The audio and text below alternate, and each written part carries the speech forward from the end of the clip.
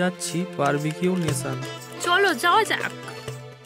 ট্রেনটা ফাঁকা ছিল বলে তাই দেখতে দেখতে পৌঁছে গেলাম আর গল্প করতে করতে পৌঁছে গেলাম হাওড়া স্টেশন। আর ওখান থেকে বাসে করে চলে গেলাম বারবিকিউ নেশন।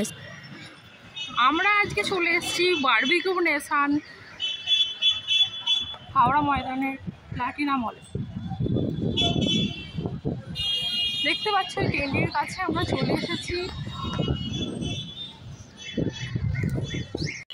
চলো আজকে যাওয়া যাক এক্সিট গেট দিয়ে ঢুকছি চলো বারবিকিউ নেশনের ভিতর ঢোকা যাক। সামনে এসেই গেছি, এত রোদ, তাই ক্যামেরাটা ধরতেও অসুবিধা করছিল। সামনে চলে এসেছি এক্সিট গেট এটা। এই গেট দিয়ে এখানে এসে সোজা যাবে। এটা একটা লিফট আছে এখানে। এক্সিট গেটের ডান দিকে বা বাঁ দিকে দুটোই লিফট আছে। চলো লিফটে করে বারবিকিউ চলেই এলাম। আমরা আগেই চলে এসেছিলাম আমাদের টাইমের আগে, তাই জন্য এসে দাঁড়িয়ে আছি। ভালো লাগছে না, তাই জন্য দাঁড়িয়ে দাঁড়িয়ে আমরা ভিডিও করছি একটু। আর লোকে ভাবছে এরা কারা? কোথা থেকে চলে এলো? আগল পাগল সব। সবাই খাচ্ছে আর আমরা তাকিয়ে তাকিয়ে দেখছি। কারণ কি করব? কিছু করার নেই। আমরা টাইমের আগেই চলে এসেছি। তাই আমাদের বাইরে দাঁড়িয়ে থাকতে হয়েছে অনেকক্ষণ। রিসেপশনে কেউ নেই যে জিজ্ঞেস করব কাউকে। তাই কাউকে জিজ্ঞেস করতে পারিনি, আর কেউ নেই সেই রকম বাইরে।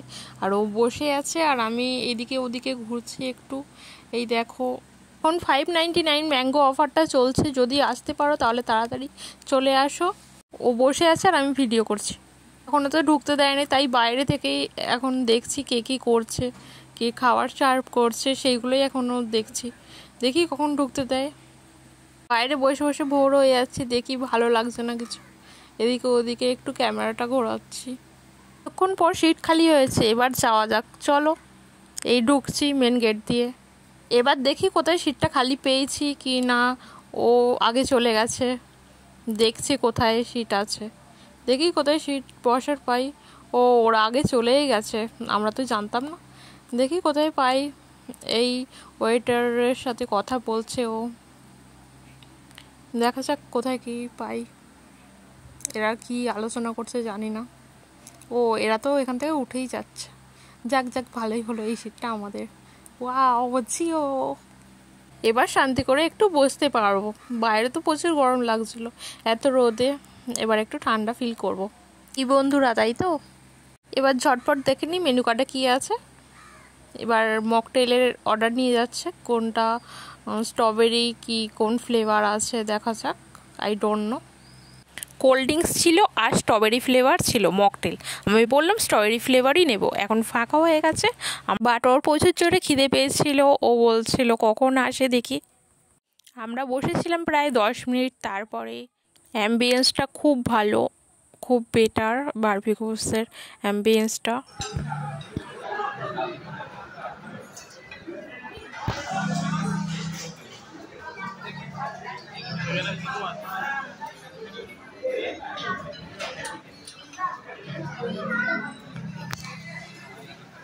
কেমন যেন ক্যাবলাবদের মতো বসে চুপ করে আর ভালো লাগছে না জাস্ট প্লেটটা দিয়ে গেছে, কটা সেলফি তুলে নি ফটফট। আমি ওইটারকে জিজ্ঞেস করলাম, এই জাস্ট বলল চিকেন তন্দুরি চিকেন কাবাব আসবে। চলো এবার টেস্ট করে দেখা যাক কেমন। চলো, আমাদের খাবার চলে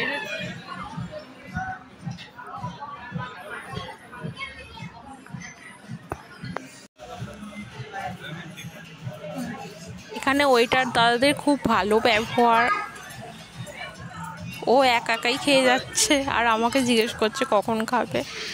এসে গেছে পোলাইডি পনির টিক্কা অ্যান্ড কাবাব সব কিছুই এসে গেছে স্টার্টার্সে অ্যান্ড বারবিকিউ চিকেনটা জাস্ট এতটা সফট এতটা নরম ছিল জাস্ট বলার মতো নয়। অসাধারণ খেতে। আমাদের খাওয়া কমপ্লিট হয়ে গেছে স্টার্টার্সে এবার কটা সেলফি তুলে নিলাম। এবার চলো যাওয়া যাক মেন কোর্সে ও তাড়াতাড়ি গিয়ে মেন কোর্স গিয়ে মটর নিয়ে চলে এসে সবগুলো তো খাওয়া সম্ভব না। এবার আমি যাচ্ছি দেখি মেন কোর্সে কি কি আছে। আমি ফার্স্টে কেকটা দিয়েই শুরু করব। দেখা যাক। কেকটা কোথায় আছে খুঁজছিলাম প্লেটটা নিয়ে নিয়েছি। এখানে আছে, আমি ভিডিও করতে করতে করছি, সেই জন্য একটু প্রবলেম হচ্ছে।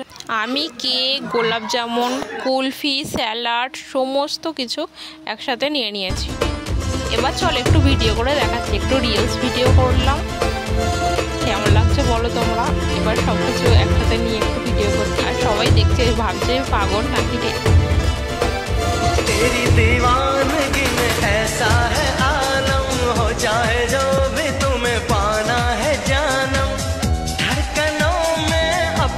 এবার গরম গরম একটু মটন খেয়ে নিলাম জাস্ট এত কিছু তো খেতে পারব না, তাই হালকা ফুলকা যেগুলো খাওয়া যায় সেগুলোই খেয়ে নিলাম। কারণ বাফেটে সব আইটেম ট্রাই করা সম্ভব নয়। আর এবার মকটালটা ট্রাই করে নিলাম। দুটো ফ্লেভার একটা ও নিয়েছিল, একটা আমি।